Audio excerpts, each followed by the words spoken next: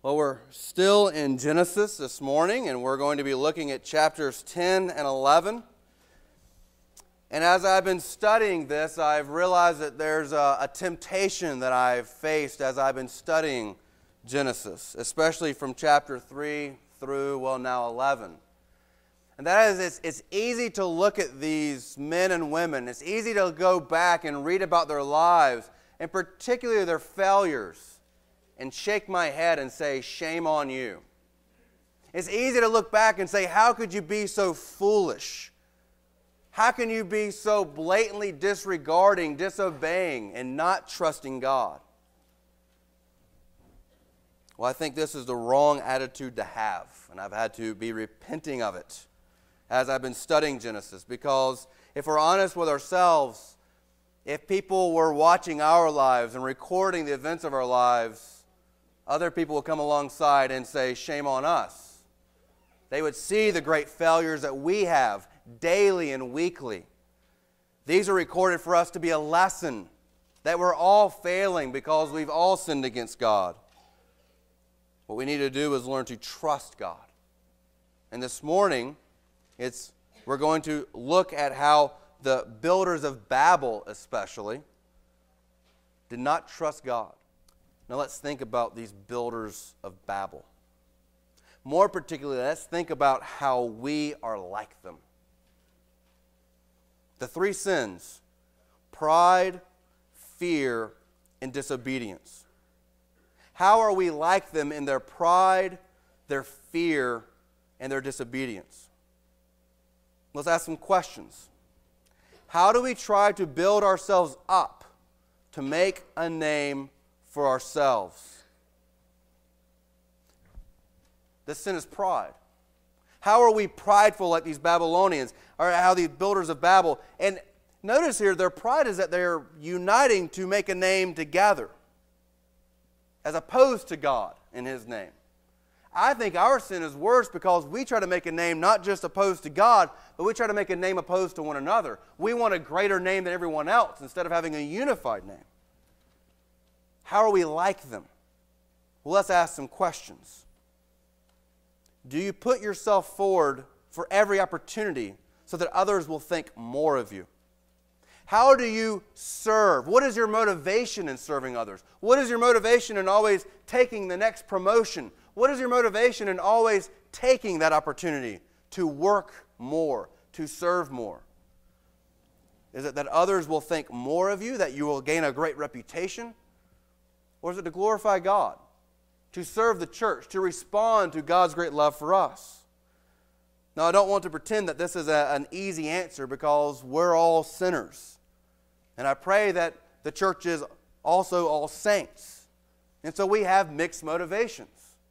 The goal here is to get rid of those motivations that are selfish, fight against that desire to do things because they're selfish motivations.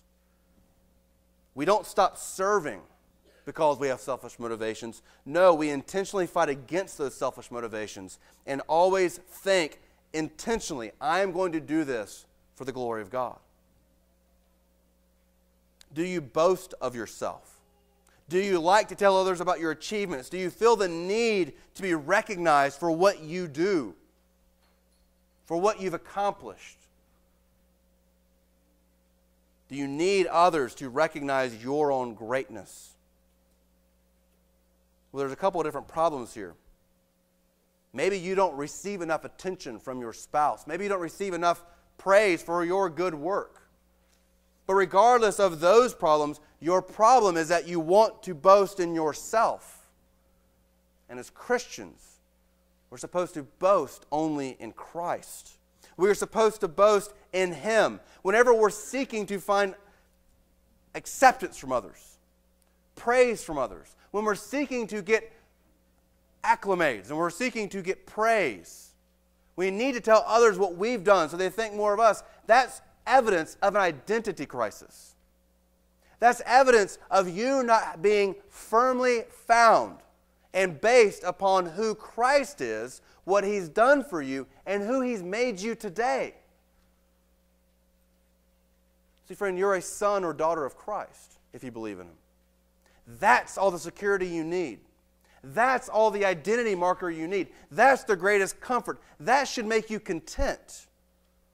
If you find yourself needing to tell others about who you are or what you've done, and you're a Christian, challenge yourself this morning.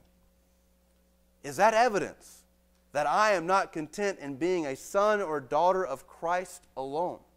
Is that evidence that my foundation is my worth in this world rather than the Savior's purchase of my soul in heaven?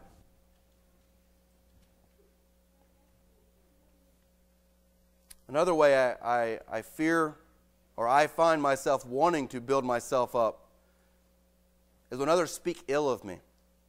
When someone attacks me, I want to go out and attack back. I want to go out and defend myself. Now, let me give a very personal, very maybe complicated illustration. Before I came to Jefferson Park, your leaders asked me how to respond to false accusations and misrepresentations that were being said about you as a church. Well, I put on my theological jacket and I gave a very clear, bold answer. You need to not respond. You need to wait upon God to protect you. You need to wait upon God to, rec- to, to vindicate your name. You are not a defender of your name, Jefferson Park when you're falsely accused or misrepresented. You're supposed to wait upon God and trust Him in His timing. Then I came. Now I'm with you. Now we're together. And I'm being, or I have been, accused and falsely represented against you. And you know what my first inclination was? Oh, we're going to go get this.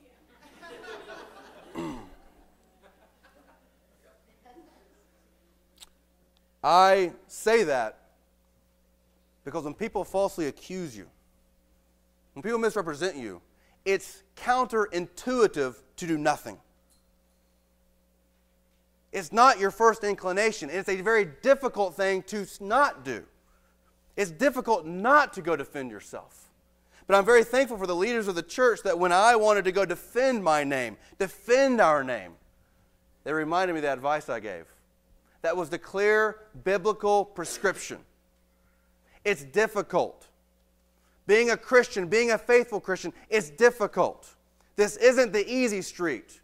This is the street of redemption. This is the narrow way. This is the way that we deny ourselves and take upon our cross and glorify God. Friends, when people accuse you wrongly, when people lie about you, think of your, your Savior when going to the cross, didn't say a word. He didn't correct. He trusted God to be the one who would protect his name, vindicate him, and God will be glorified.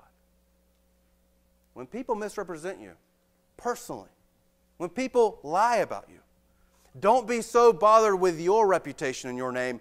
Be worried. Be most concerned about the name of Jesus Christ and how you can glorify Him in the midst of that difficulty, in the midst of that suffering. That is how we relate to their pride. We boast of ourselves, we seek to defend ourselves, we put ourselves forward for praise. The second way, referring to the fear, how do we protect a sphere of our lives from being under God's rule? They refuse to be scattered because of fear. They refuse to fulfill the creation mandate go fill all the earth because of fear. Let's just jump straight to the create the equivalent of the cre- Christian creation mandate, and that is the Great Commission. We are all called to go proclaim the gospel. We are all called to evangelize, to teach the world everything Christ taught us and to baptize them in the name of the Father, the Son, and the Holy Spirit. We are all called to proclaim the gospel. What keeps you from proclaiming the gospel? It's fear. It's fear of man. It's fear of being mocked. It's fear of being thought as less. Uh, it's fear of being thought of as inferior in the world. Friend, there isn't a special gift of evangelism. There's a special calling upon all of us. It's not just a few that Jesus Christ said, I have given you all authority. It's to the entire church, it's to every saint. Do not let fear keep you from fulfilling the great commission of Christ. Other things that we're fearful of letting God have control over our money. We like to protect our finances. We like to protect what we need, think we might need for retirement or for a rainy day. We don't let God have sovereign rule over how we spend our money, over what we give. We need to be letting God look into our checkbook. Let Him see what we're spending, what we're spending it on. And let Scripture or other brothers and sisters give us good, godly correction in what we spend our money on and how we spend it. My worst is time. I'm selfish with my time. I have a hard time letting go of time. I want my time for my things. God's sovereign over every second that I possess, that I get to enjoy. We cannot be selfish with what God has given us. The other way we, we might be fear, fearful, or we may question God's goodness. That is the root problem here. We're questioning God's faithfulness and trustworthy with our time, our money, with His ability to save sinners while we evangelize. Do you trust God is good to you today? Do you find yourself daydreaming about a life that you wish you could have? The life you think you should have? Do you find yourself thinking, if only I had this? What you're doing there is questioning God's sovereignty and what He gives you and how He gives it to you. If we believe God is sovereign, if we believe God is ultimately the orchestrator of all things, He has put you where you are to do what you're doing. When you question that, when you want more, when you want something else, you're questioning God. You're questioning His goodness and His provision and His faithfulness. We must learn to be content in what God is doing to us and for us. Finally, look at the disobedience. Do we try to overstep God's predetermined boundaries, just like the builders of Babel sought to build up into heaven? One of the clearest ways this can happen is in families. Wives and husbands, are you faithfully following your, your, your prescription in Scripture? Husbands, to lead your home, to love your wife as Christ loved the church. Wives, are respecting and submitting to your husbands? These are practically the easiest ones to overstep. We must be mindful always of the sin that's seeking to destroy us. Children, your role is to honor and obey your parents. Your temptation is going to try to undermine, overthrow your parents. Your temptation is to try to push them to the limits to see how much freedom they can give you. Don't do that. Trust your good parents and their good wisdom to help you know how to live the life that's going to most glorify God honor, and obey them. They know what's best for you.